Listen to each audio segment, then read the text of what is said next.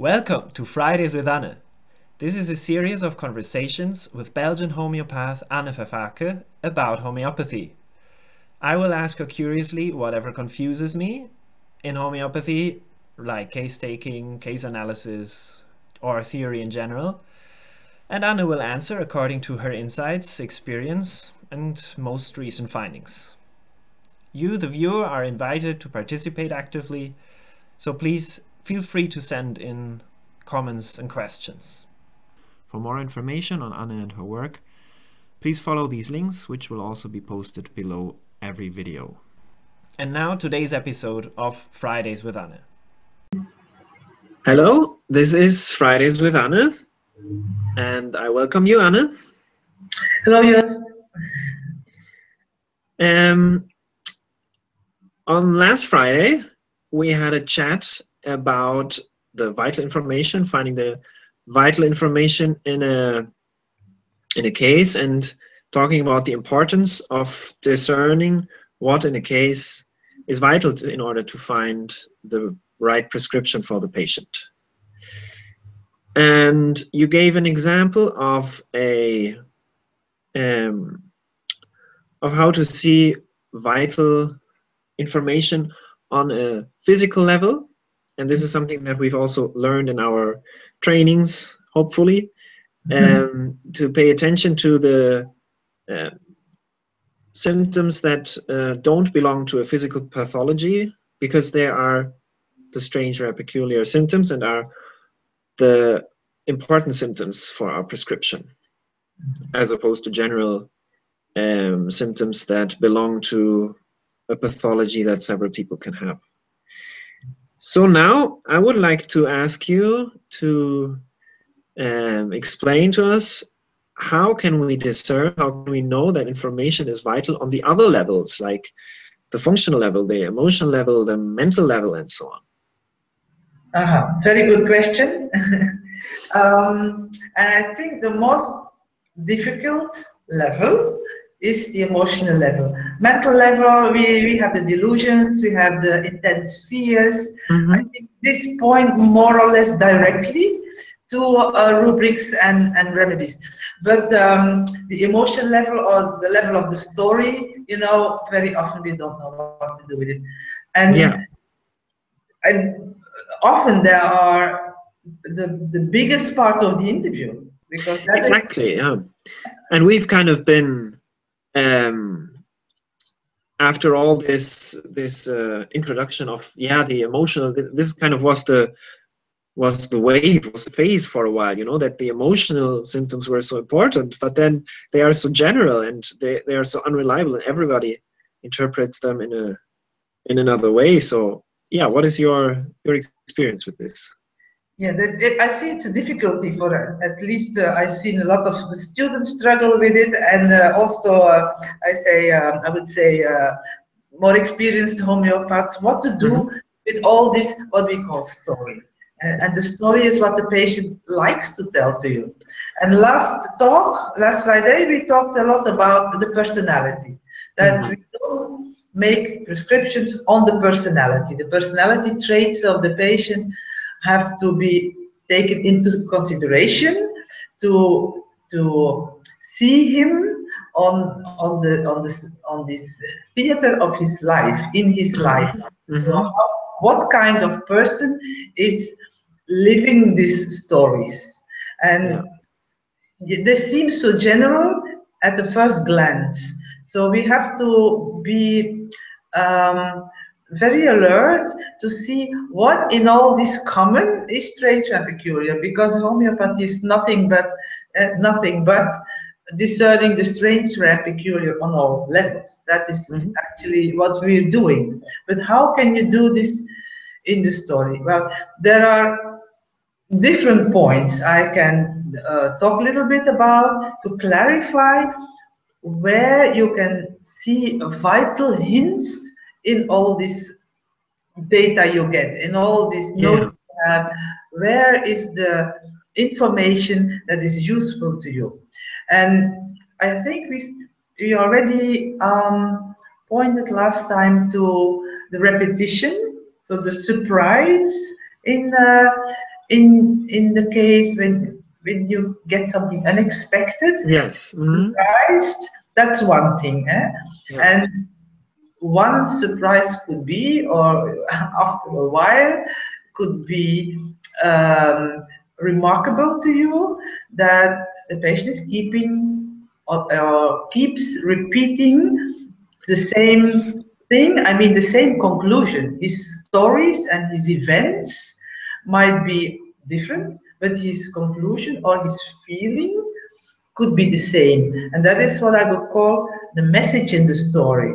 The story is the example, is the Mm. image, uh, is the, the happening, but how the patient experienced the happening is the message in the story. And I always say the example is very important. Even if it seems trivial, Uh-huh. you ask yourself, why does he tell me this? Why did the patient wait for three months uh, for, before he could get an appointment? Or why did he travel for 200 kilometers to tell me this? Eh? Only this means that the example is precisely chosen because it contains the vital. Mm. So that's something reliable. The examples contain the vital always. Otherwise, the patient wouldn't wouldn't tell you. He- has millions of things to choose uh, from, and he picks out a few examples. So these examples are always precisely chosen because it is containing the vital information the patient doesn't know, but you know as a homeopath Uh-huh. that only the choice of examples is a hint, and if the patient doesn't add it um, himself as a conclusion, uh, Mm. like in this happening, that is how I felt, then you can ask him. Okay, I understand. You had a quarrel with your mother-in-law, and you know she's a very bossy woman. Da da da da da da. How do you feel in this situation? How is it for you to feel to be in this situation? She can say, "Oh, she makes me angry. She goes on my nerves. I can't stand the woman." Okay, great. But how do you feel? How is it for you to have to deal with a person like this, and you can't escape from her? You know, she's she's family. She's the mother of your husband, whatever. How do you feel in this situation? Were you made angry by her behavior? eh? And Yeah. that's direct question to the vital. If the patient doesn't tell it spontaneously, because very often they do. Right, but wouldn't they also? Um, it could also happen that they would just, um, because for for many people it's, or for all people it's not normal to talk about, to explore deeper or to to, not only deeper but to to be more different to differentiate better between their their feelings or their emotions. Couldn't it also be that? Um, when you ask how did you feel in the situation and they would just say i was angry or i felt i felt um, not appreciated or i felt not uh, i was sad Yes, that's what most patients would answer if you ask them the question, how did you feel? Because they give you feelings. Mm, You ask for feelings, you get feelings. But it's also a little bit in the language because we've seen all these in, Indian cases, etc., and, and they ask for the experience. Now, in Dutch, this sounds very odd if you ask for the experience. I don't know how it sounds in German. also funny uh-huh. Funny, yeah. You don't ask, what did you experience when your No. mother-in-law is, is bossy? That would sound strange. So you ask for feeling, but we have in our language, you could say you have feelings on level three, level four, level five. And as a homeopath, you should know uh, from what level the patient is uh, answering. So if he says, or if she says, I'm angry, I'm sad, that's level three, right? These Yeah. are very common um, human feelings that we all have. And these are exactly the feelings you can expect in such a situation. So nothing you can do with this. It's common and it's it's like only level three, right? yeah But- mhm. So that's wh- why it's a stepping stone to ask the next question. Like Mhm. being angry or being irritated hmm, of with this sadness because you can't change the situation or whatever. How is it for you to be in this situation that makes you sad? Ah, yeah. Mm-hmm. So then you take the feelings, you include the feelings in the story and go to the next level with them. Mm-hmm. Mm-hmm. Mm-hmm. Yeah. Yeah. Okay. And that's exactly what you said. People are not used to think further or to delve deeper or to verbalize it. So they might have to think a little bit. Mhm. Like, I, I, I, I don't know, I can't. I, I'm, I, yeah, I can't change it. I, I don't have the power to influence them or whatever. You know? Mhm. And by the I can't or I miss or she should, eh, then you get hints Yeah. Mhm. different kingdoms. Hmm? And Right. if they keep repeating the feeling, and whatever you ask, and whatever example, the feeling comes up again and again and again, and it's a plant. Right. Plants feel on level three, but they also feel on level four, and they feel on level five. It's Mhm. difficult to express, but the plant is the feeling. The plant doesn't have the feeling. The plant is the feeling. And that's the difference. Like they feel in their body, they feel in the heart, and they feel in their soul the same thing. Mm. And we confuse this with superficial Yeah. Mm-hmm. Yeah. Mhm. that everybody has, but it's like that. A plant feels in its soul. And that's why you get nothing but feelings. Yeah. This is vital. And it's Mhm. the same feeling, whatever happens, because the feeling is first, the happening comes later. All right. So this gives us an idea um, of how we can listen for the message in the story the patient is telling, and that gives us a, a clue about the vital in the story. Can you tell us other pointers, other hints? Yes, there are a few more hints I can give because Mhm. here is where the context come in. The context of the consultation is um, very important, and there are many aspects to that. eh? Like a word that the patient uses is meaningless if you don't have the context. You don't know if the word is dropped as a common word in a common expression. Uh, You don't know what level it is. Um, if, if you don't see it in the context and the, the word used by this person might mean completely different thing than when it's used by another person, right? Mhm. That's part of the context. You have to always take into consideration that the expressions of the patients, the words of the patient have to be seen in the whole context. Who is telling you what and when? yeah, I Yes. give you Uh-huh. an example. Um, for instance, saying you what when is and that's something you have to like train yourself to be to to pick this up. Is when a patient says something in an illogical sequence.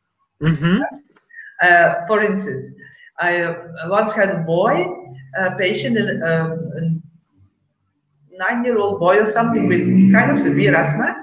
And after we uh, explored all that and he had a, a, like a strange feeling like he felt like his his throat was like like beaten when he had this asthma which is Mhm. already very strange. But when he asked when i asked uh, about his fears he said that he was afraid of burglars. I said yeah burglars you know that's a very common fear. So you ask why are you afraid of burglars and he said, um, well, they come in, in the house and um, and they kill you, they steal, they kill you, and they beat you up. And I thought, after they killed you, beat you up, that is very strange. Yeah. Mhm. This sequence is illogical. You can say, yeah, it's a child, he's not logical. No, no, no, no. You know, it, it's vital Uh-huh. He has to add the beating up because you know he needed uh, an injury remedy. eh? He, he got Chamomilla. But anyway, this illogical sequence is so important. Mhm. It's not by accident. It's not a coincidence. Hmm? His sensitivity was for being beaten up or being beaten. And usually that is not what burglars do. You know, they, they do steal. They come into your house and sometimes they might be um, threatened uh, by somebody and then they might kill you. That's Yeah. what Mhm. people would be afraid of. They have a weapon or they would kill you. But being beaten, that is a very strange thing of being afraid of after they already killed you. So that was important. Another And would you ask to confirm? Would you kind of ask also so they steal and they kill and then they beat you up? no, because they, they might then um, how to say repeat it in a, in a different sequence because they might realize and then you start to you start to doubt Yeah. Mhm. symptom. But of course, you you stay alert for the word to come back or Mhm. synonym or something that has to do with beaten up. And it Right. come back, and it was already the second time since, since he already had the feeling in the in the physical symptoms, and now he had it in his mental level. So great. He- And you know, it's not only a flip of the tongue or of the brain or whatever. yeah. So as I told you, examples are never by accident. Mhm. never, never. Uh, for instance, another case I recall was a woman who had um, uh, an accident as well. She fell off the stairs at night. It was dark, Uh-huh. Fell the stairs. And, you know, she was um, lying on the floor, she said, and of course she was, uh, you know, uh, in shock. And she said, you know, I was lying there. I wasn't sure if, um, if, if, if I broke something, maybe I broke my neck, I don't know. My blood pressure went up and um, I didn't know what to do. And I started to call, to, to yell uh, because my son was in the house. And I thought, your blood pressure went up? What? You, you're not sure if you broke your neck and you're worried about your blood pressure? Mhm. That is so strange. Mhm. So if somebody else would talk about the blood pressure in another situation, you wouldn't even mention it. Mhm. You think, okay, he's a bit worried about his blood pressure. But this woman, at that moment, like you, you don't even know when you're paralyzed for the rest of your life. Who cares about blood pressure? So the blood pressure becomes the, the main thing. It has to come back. It has to Mhm. be something, and that's the context. It's not the blood pressure itself. It's the the, the, the instant she mentioned it that not even that she thought about it, but that she tells me a year later that she thought about it. Yeah. It was a Mhm. digitalis case, but that that's not a coincidence that the digitalis would mention a thing like that. Yeah. Mhm. Okay. Okay. So that's again is very important in the story. It's the moment that people drop this little bit of information. When it Mhm. comes to an illogical sequence at a strange place, and a very unexpected, or Mhm. you think it's unnecessary. Why do they say this? It's it's Yeah. you're in unnecessary detail. No, it's vital. yeah. Yeah. Uh-huh. That's also a bit what I mean with the, huh, you know, the surprise that they tell Mhm. something so insignificant, seemingly, Yeah. makes it the more significant thing they said. eh? And another thing, sometimes, what a patient will do is, and usually they do it at the end of the case. eh, I don't know why. Uh, when you already made up your mind what Yeah. remedy to give, and when you're tired of, you know, listening uh, with this intensity for one hour and a half or two hours, and then you something like, for instance, what do you like to do? And oh, you like to swim. Oh, yeah, well, tell me about swimming. And then all of a sudden, you get this whole chapter. they give you this explanation of how they swim and how the water is making them weightless and how they like you know move in the water with all and how the boundaries between them and the water dissolve their feeling of you know like what is this? This is vital they gave so much explanation of something that you know that you didn't expect to be important that is to, to attract your attention like this is vital listen hmm. And this is also tricky then if you have already settled for a remedy and it might not fit with what you've what you settled for. Mhm, Exactly. Yeah. For instance, I recall another case. I think this was Goldfish, Carassius. Carassius. Um, she, um, what are you afraid of? What are your fears? You know, it's going Mhm. towards the end of the case, and uh, she's afraid of this and that and fish. What? Who is afraid of fish? You know? But some people are. Mhm, Yeah, and if it's a shark, we understand.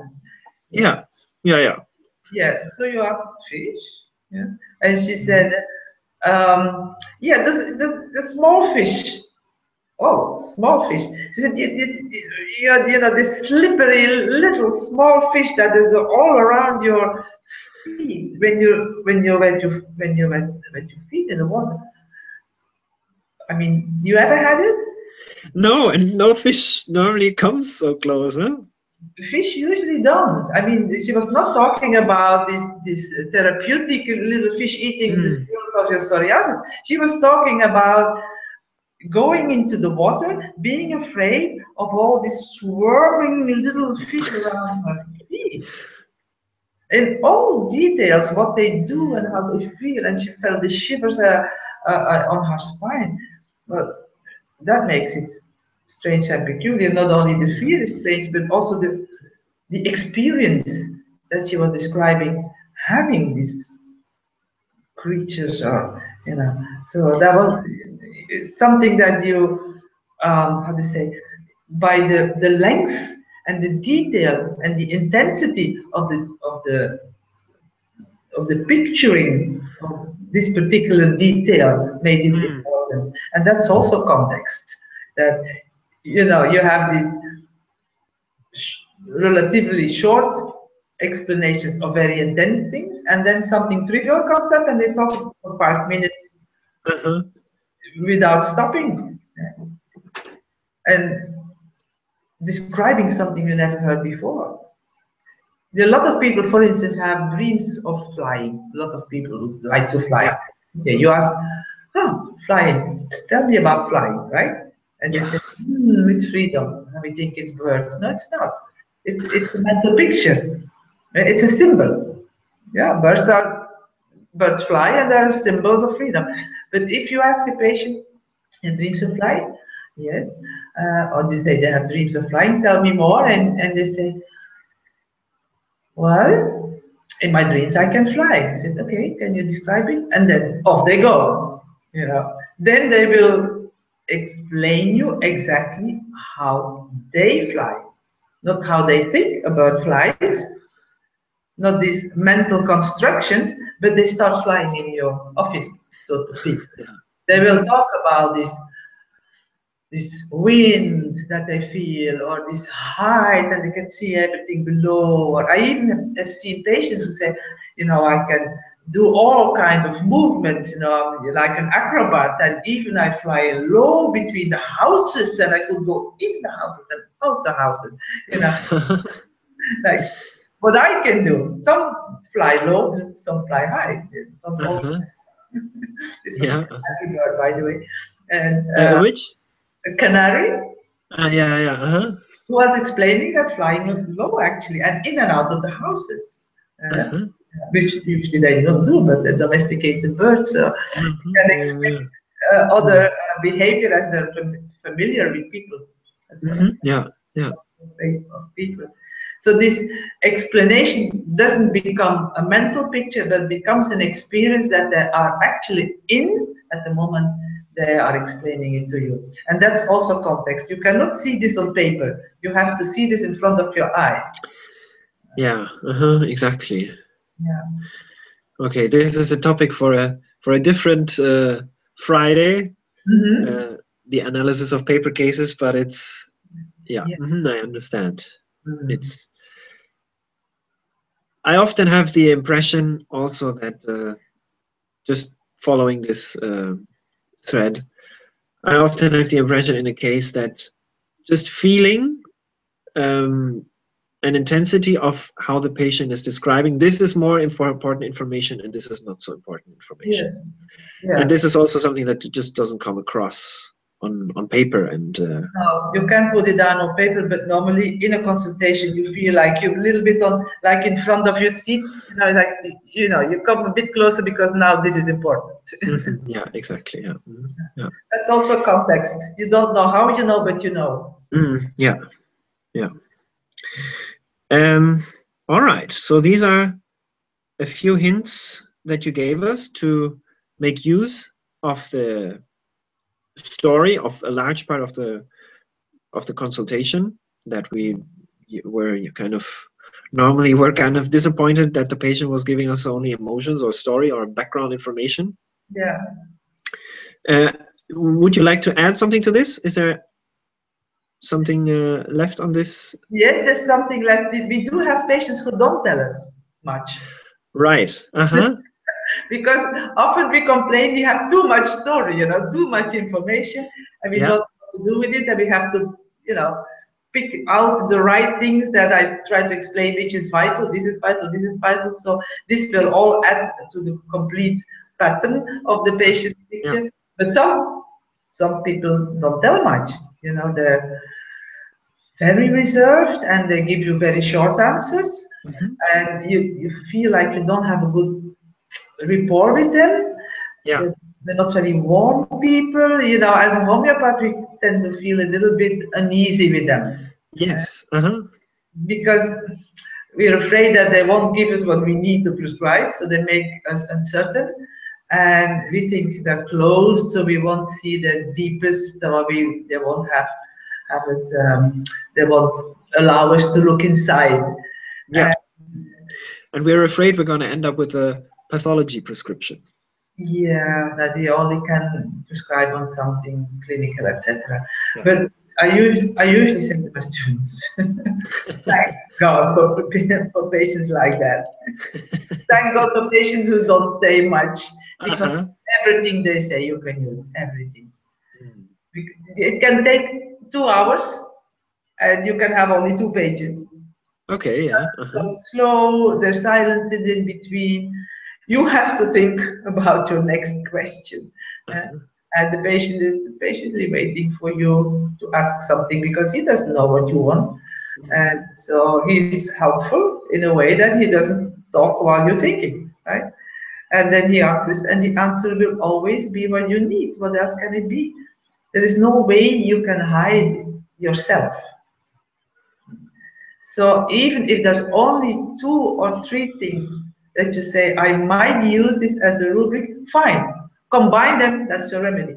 right And again, I can only demonstrate this with cases, but we did this. hmm And the students are at a loss, and I said, but be grateful. Uh, you- all your notes, or everything you wrote down is useful. If you combine this, you have your remedy. That's all there is to it, and that's a vital prescription. Um, does this do these types of patient pertain to a particular group, or can they be from any kingdom group, whatever, in your experience? Yeah, I wouldn't be surprised if this would be a plant, honestly speaking. Uh-huh. because they tend to talk a lot, even if they're compensated. You would somehow see what they try not to feel. hmm Yeah. But I mean, Ah, okay. Plant cases, they don't show their emotions, but then there's so much suppression. And there's a suppression that then you observe. Yeah. The emotionality that is obviously there and so strong that they need to suppress it so much. So there will be a denial or there will be a, a strong suppression. If somebody says, I don't have fears, I don't have dreams, you know, there must be a lot of suppression. Hmm? But then still, you feel it, still it's there. But with other patients, it could be, it could be, basically it could be any kingdom, but I would expect it more in maybe in let's say in general second dimension cases Uh-huh. doctor second and third dimension so i would expect it more in second dimension cases and um, we'll talk more about gemstones gemstones on a, another uh, friday Yes. but um, gemstones have this overall attitude if i can tell it that way, put it that way, of being a little bit, um, you could say, like hard and impenetrable. You, you Mhm. can't get through it. it. It's now like it's it's smooth, eh, but it's like water water that's running off a duck. Uh-huh. Yeah. Uh-huh. Like you can't get through. While at the same time they answer your questions, which is not always the case. I told you before. That's also the context of the interview. If a person answers your question, is more likely to belong to the second dimension, and if you answer your question with stories and images, it's more likely to belong to the third dimension. So they answer your questions like second dimension cases do, but it's like they don't give you more than the necessary. And the answers they give to you are um, are showing their feelings, but without emotionality, without Right. emotional load on it. Yeah. They- Uh-huh. Talking about it, but not like being really Emotionally. They don't talk emotionally about it. Yeah. exactly. They talk about their emotions and kind of short, Uh-huh. Yeah. like matter of the fact, like. Yeah. Uh-huh. So then you will have like, I don't get much. I don't get much information. They don't tell me much. They're kind of a little bit reluctant to talk to. They make you a bit uneasy because of this hard, um, almost shiny eh, um, uh, outside behavior. It's not very uh, inviting Mhm. but still they're open-hearted in what they tell you. The, the information they give is about their real feelings. They're not hiding their feelings. They don't make it any any more beautiful than it is. Mhm. Yeah. So that would- could be like little information, but by the context enough, because it's the behavior of a gem first, Yeah. Mhm. and then the information they give you is all you need to prescribe on. Mm. Okay, so this is um, something to deal with um, patients who don't talk much. Yeah. Have you, just to uh, wrap it up, have you also had patients who kind of are uh, offended or refuse really to, to answer or to go into certain topics? And why? Yeah, I think we all have this. No, some patients who feel in a in a certain moment in your consultation that it is going too deep, like they don't want to talk about it, or there there are particular topics they don't want to talk about it, Mhm. and that's why we always say make your questions as open as possible, that the the patient never feels obliged to give you how do you say, very personal information, and I wouldn't, I wouldn't um, encourage them. If they would say, like, I have, I've been through incest in my life, right? We don't need to know all the details. We Mhm. don't need all the details. Uh, and I know the different ways of coping up with that, and, and but if you feel you need to know more, even then you can make your question very, very um, uh, non-directive, Mhm. very open. Like, is there anything you can tell about this, or can you maybe say something about the impact this had on your life, something like that, without Mhm. asking what happened, you know? Yes, exactly. And I mean, this is also not the important part for us to to discuss the happenings as as such. As such. But wouldn't there often also be um, vital information to be found in in intense, in maybe extreme uh, events, something that affected the patient deeply? Yes, but he will tell about it. But you know, I have to tell you this. Some patients are irritated by nature. They are irritable. Yeah. So that which you say will irritate them because Yeah. for them Mhm. Anybody says irritated. Yeah. Okay, you know the plant family, right? but the horror for homeopaths, eh? this is Violales. Eh? Yeah. And you, you know, this plant family, you know, Bryonia. You know, Mhm. Bryonia. Bryonia is angered when questioned. yeah. Now, you go to homeopath, you will be questioned. Uh-huh. So the result will be anger, right? Yeah. So the, Uh-huh, yes. those patients are helpful in the way that you just ask them these very gentle, open questions as you always do, because you're a very gentle homeopath. and you always treat your patients with compassion and empathy and care. And this patient is irritated by everything So thank you very much. That's your remedy, right? yeah. And it gets even worse when he needs uh, when he's from the malaria um, miasm. Right, yeah. Uh-huh. But by themselves, they're complaining. Yeah. That's the miasm. They Uh-huh. feel fortunate. So it's always me. Why me? You know. Why are you asking me these questions? Well, so they have some physical complaint, and whatever you ask, you know, they bite your nose. What do you think I feel? You know. you ask him how this feel. yeah, those are the if you if you happen to be a little bit you know insecure homeopath and you get a Colocynthis in your practice, uh, well, it will be a challenge. yeah, it will be a challenge, all right. Yeah. But the remedy is very clear as long Uh-huh. as you keep in mind that it's not you, you know, it's the patient. If the patient is irritated by your gentle questions, not because you try to irritate him. yeah? And no, no matter how careful you are, you know, he, he reacts with irritation. It can be like it, like you know, he his body language tells ah, another silly question that I have to ask. It doesn't need to be in the words, but you can see like, oh, how long will this take? This silly question. uh-huh.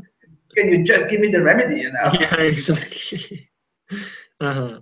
Okay. So that's how do you say. Yeah, the patient can be offended, but it's then clearly in the patient, and it's a rubric. hmm It Yeah. We shouldn't be intimidated. We have those patients who say, uh, "Well, as you doc- as you're not a doctor, you probably don't know," and then they say some Latin words that Yeah. not to know about some I don't know whatever pathology they have. And if if you do feel intimidated, it's you. But the impression the patient wanted to make on you was to intimidate you. Because who says to, to somebody you need help from, you probably don't know anything. I mean, yeah, yeah, exactly. Yeah, or yeah. you don't know this disease or something. You can say, well, no, you know, I, I can look it up on the internet. yeah. But the way people would say this is not because of something you did, it's because they try to intimidate you. Yeah. And isn't that also kind of contextual information? What um, if this is a, not a feeling that you commonly experience Exactly. uh, dealing with people with patients? If if um, the states that you enter or the, the emotions that you get, that this is something that belongs to the patient, Of course, another source of information. Exactly. If you're intimidated by all your patients, it's you. Yeah. Mhm. Yeah, yes. And, but of course, you know, it, it's every patient, every patient helps us to learn something about ourselves. Mhm. we learn as much as the patient, I think, by the interaction. So if we really try to, how do you say, to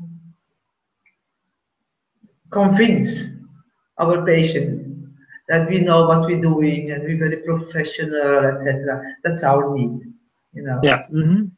if you feel you know what you're doing, you don't have to try to convince the patient. If you're Yeah. not convinced, that's his problem. You know, Yeah.